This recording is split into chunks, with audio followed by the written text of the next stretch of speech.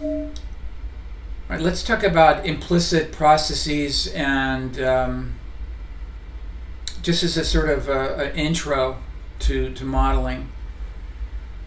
Now, when you think of implicit, you may think of its opposite, which is explicit. So implicit, implicit is something that is sort of hidden or latent,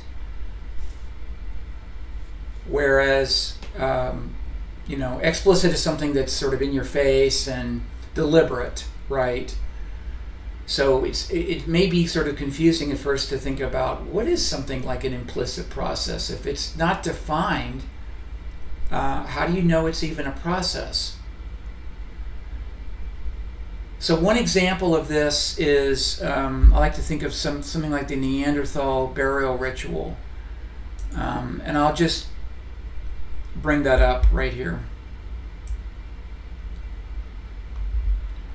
So this is a from the National Geographic, and it's uh, it says the title is Neanderthal burials confirmed as ancient ritual. Now, ritual is a kind of process. You perform rituals in many different circumstances, um, from from family rituals to individual collective rituals to uh,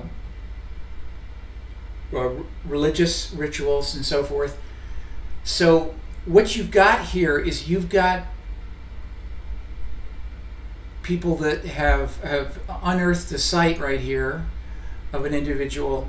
And based on the position and the condition you can kind of implicitly argue that there was a lot of care involved in this process. It wasn't like somebody just randomly um, thrown around when when they die. Uh, there was a lot of care and and a certain approach. And you know, you probably have seen other kinds of burials like this, where you know you adorned with jewelry and other artifacts and so forth.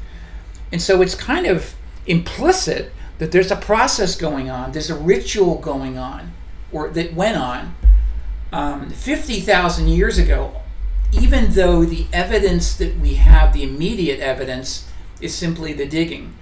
Now, one of the reasons why we can jump to this conclusion of process based on a skeleton uh, is that we can look at our own culture and how we treat people, um, you know, the, the die and the, the, the religious rituals that go on and so on. We can kind of go back, uh, go, go to native uh, populations and you know, study what they do, and we can infer that the idea that there was a process here, even though the process is really not explicitly defined, it's implicitly defined.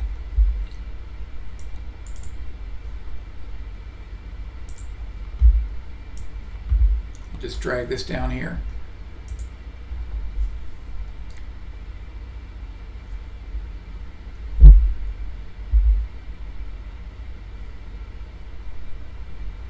Okay, we're also going to cover uh, natural language here in terms of implicit process. This is not really implicit, but this is based on, on, on the idea that natural language is a kind of modeling. So in conjunction with drawing, um, you know, natural language is a natural way to describe processes. We grow up, we learn a language. Uh, the language I'm using is English but there are thousands of languages. And, uh, you know, we go back in time, we find things like the Code of Hammurabi, which is no question that there's an encoding of process, and it's encoding of process in the form of rules. So they were models, uh, models actually for how one should behave in a you know kind of civilized society. Recipes are, are good examples of, of models of process. Uh, you know, just pick pick up your favorite. You go online, or if you've got a book, a recipe book, pick it out. Study how process is is represented.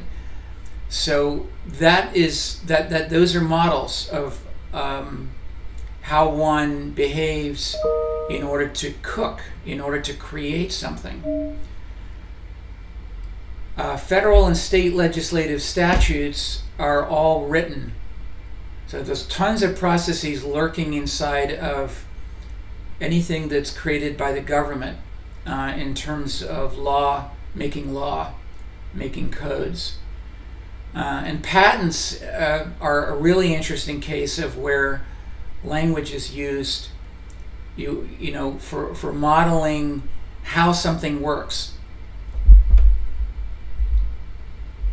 So this is these are just some examples of you of natural language as model. Uh, this is from macbeth uh, act 1 scene 3 and if you go through here fixate on the verbs because the verbs will lead you um, naturally to thinking about process modeling. But the key is when you read this, you form something in your mind, you imagine, the imagination takes hold, and you are kind of building an artificial construction. Um, you know, now of course you could you could draw this, you could paint it, uh, you, you could even make music from it. But uh, but you know, just an, an example from from Shakespeare uh, and this is from the Code of Hammurabi, which I mentioned. If a man destroy the eye of another man, they shall destroy his eye, and and so on. And so there are these rule if then rules, which you know you think to to computer programming, there are lots of if then statements, right? If then and then maybe an else. Well, Code of Hammurabi is full of this kind of thing, right? But it's not expressed formally in a particular language or a particular code programming language. It's, it's just in natural language. This is a um, American cookbook from 1796. And if you look online, you can actually find a lot of old recipes. Here's a recipe for a sea pie. Again, look for the verbs. Four pound of flour, one and a half pound of butter, rolled. Past tense, roll right, into a paste, wet with cold water, line. That's a verb, it's an action. So this is a model, this, this, this English paragraph is a model for making a sea pie. Now patents are are interesting for many reasons. One is that if you were looking for something in English or uh, any any natural language that is really detailed, you're going to find it in patent language because typically most patents don't include things like flowcharts or other kinds of process models. They use natural language to describe the process. And in doing so, they describe with a great amount of precision and detail um, a process. So it's it's the most, I, I guess, apart from from law, uh, well, distinct from law, patent law and, and the idea of patent applications and patent content um, is a great way of finding out, gee, how, how far can you go with natural language defining a process? There's, a, there's just a picture, and there are often pictures which are iconic of the thing to be modeled there aren't that many flowcharts. I have found a few in some patents, but in, in most patents that I've seen, um, they use English to, uh, to define the process. This is just a summary. Natural language is, along with playing with toys and, and maybe making them, it, it's sort of foundational in, in, in process modeling.